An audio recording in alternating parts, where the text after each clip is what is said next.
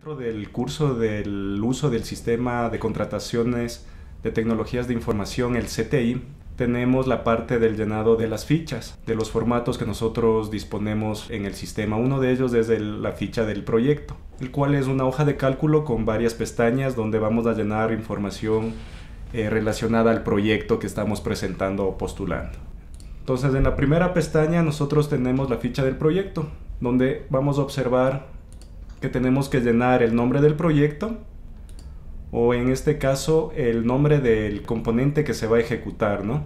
Tenemos el programa relacionado o proyecto relacionado. En esta parte lo que vamos a poner es nombre del proyecto macro, si es que fuera el caso, y en el nombre del proyecto iría el nombre del componente de, de este proyecto macro.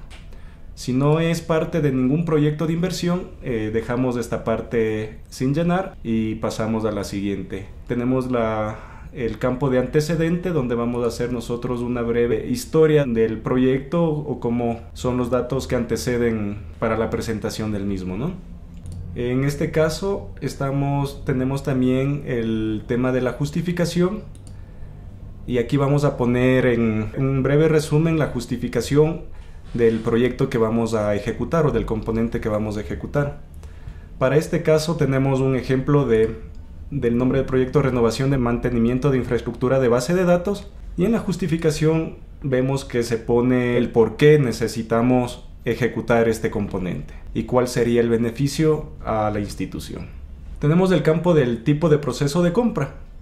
Nosotros aquí vamos a poner el proceso que hemos decidido ocupar para adquirir o ejecutar este componente o proyecto. En este caso está puesto régimen especial. Podemos también poner ahí catálogo electrónico, subasta inversa electrónica, contratación directa, bueno y todos los diversos formas de contratación que hay.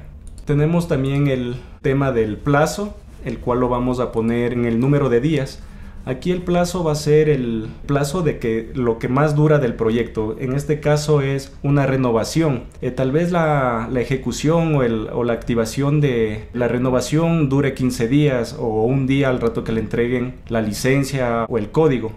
Pero el tiempo de duración máximo está por 365 días. Entonces ahí ponemos los 365 días, que viene a ser la de un año. Tenemos el tema del presupuesto referencial. Aquí vamos a poner el, el valor, incluido el IVA.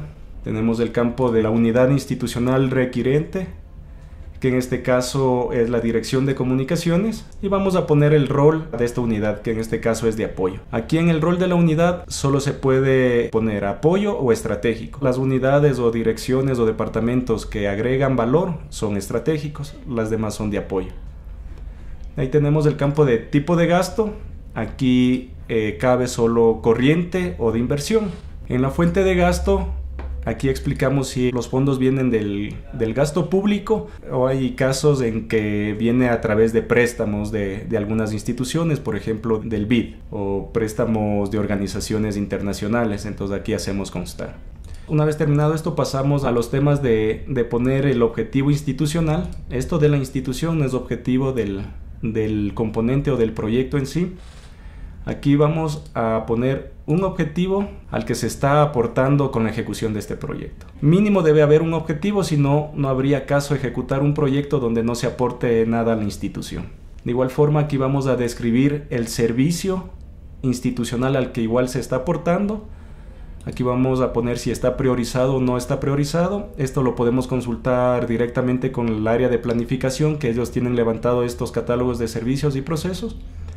Y ponderamos a, un buen criterio nuestro mismo el porcentaje de la contribución hacia el objetivo y hacia el servicio. De igual forma hacemos en el tema de los procesos institucionales. Eh, hacemos igual si está priorizado o no está priorizado, el tipo de proceso si es sustantivo o es adjetivo y la ponderación de igual forma. Con eso llenaríamos, terminaríamos de llenar la primera pestaña y pasaríamos a la segunda pestaña que es la de objetivos.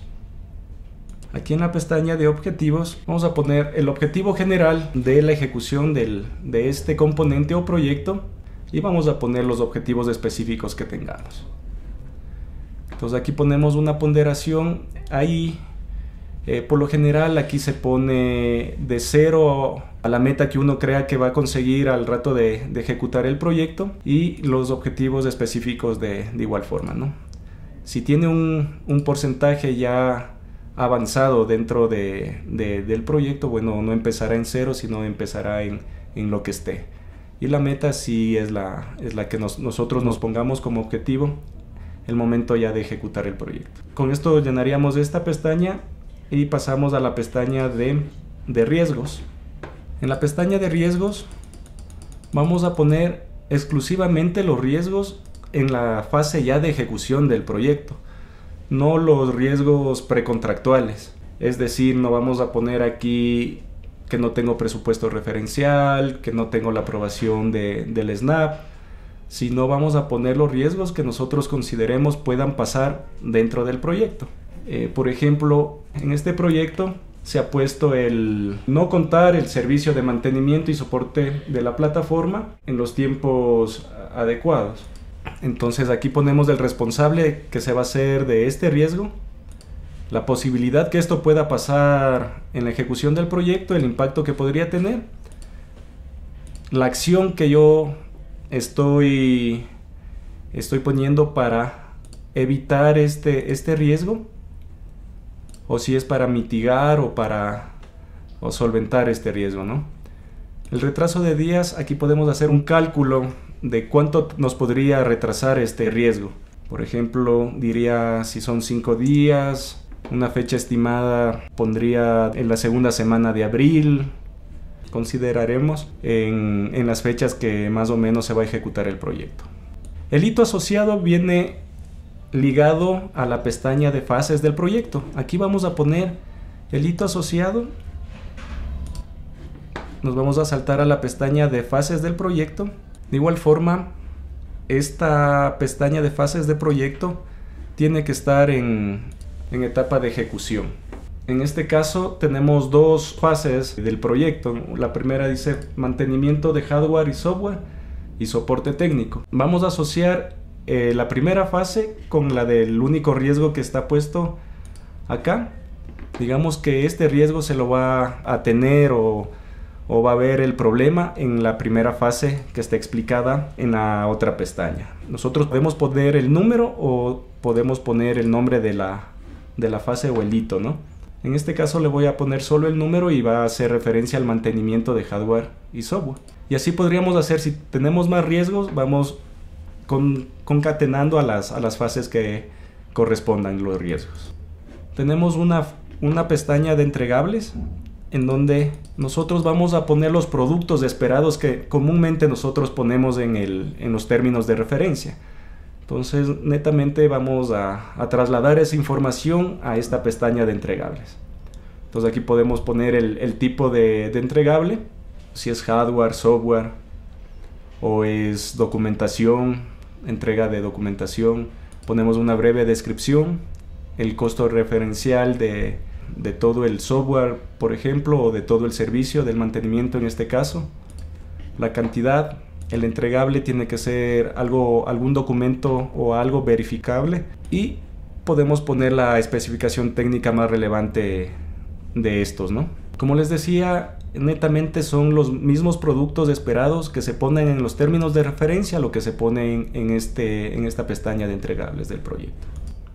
Bueno, hacemos una breve explicación de la fase de proyecto que habíamos dicho que también tienen que estar en la etapa de ejecución.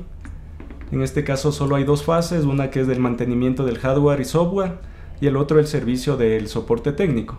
Llenamos el, tiempo estimado que va a llevar estas fases, eh, la unidad, el entregable y el medio de verificación.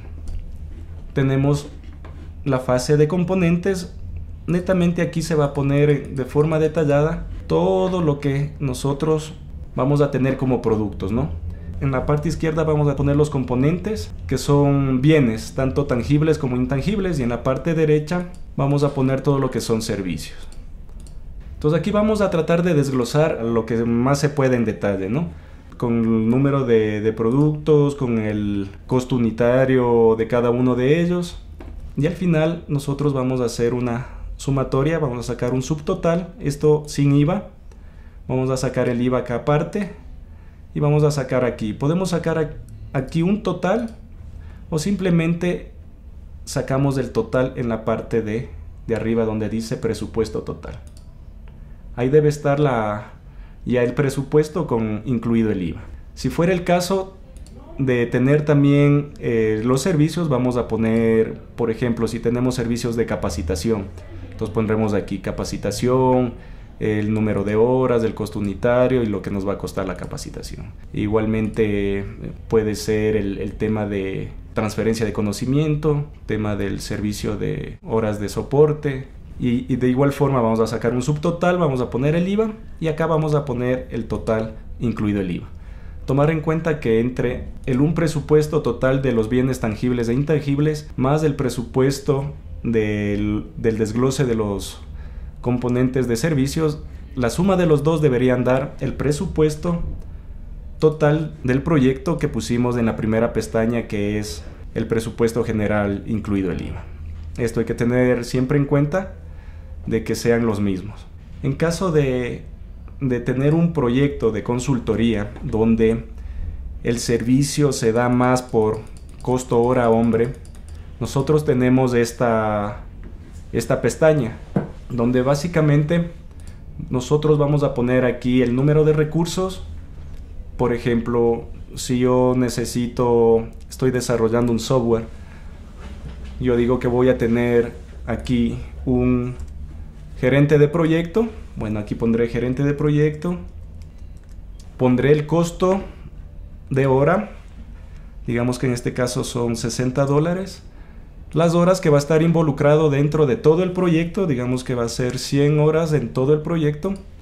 Las fases, bueno, aquí puedo describir en las fases que él va a intervenir y sacaré un, subtotal, que en este caso vendría a ser 6 mil dólares. Y así voy desglosando el número de recursos que yo voy a tener dentro de la consultoría. Acá podría poner dos especialistas en programación junior en, Java igual el costo de hora individual, las horas que va a estar y sacar los subtotales. Así hago con todo el, personal que la consultora me va a disponer para ejecutar este proyecto y de igual forma sacaré un subtotal, incluiré el, IVA y sacaré un total. De igual forma, eh, podríamos también poner tanto en la, en la, parte de acá abajo como en la de acá arriba que dice presupuesto total, donde ya estará incluido el IVA. Hay ocasiones en que puede haber una mezcla de todo, de, bienes tangibles e intangibles, eh, servicios asociados a esto, más perfiles del personal involucrado, digamos. Entonces nosotros al final tenemos que ver que el presupuesto total de esta pestaña de consultoría, más el presupuesto total de los servicios y más el presupuesto total de los bienes tangibles e intangibles, deberían igual sumar el presupuesto total que nosotros pusimos en la pestaña al inicio, ¿no? Entonces, esto sería la forma de llenar este formulario que como hemos visto es simplemente exponer la información en varias pestañas del proyecto que vamos a ejecutar.